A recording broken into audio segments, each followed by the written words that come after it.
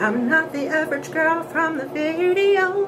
I ain't built like a supermodel, but I learned to love myself unconditionally because I am a queen. Listen, I see so many women say things like, I feel like I'm worthless, like I'm not good enough, like I'm ugly because of the way that I look. Men, people make me feel like I'm nothing.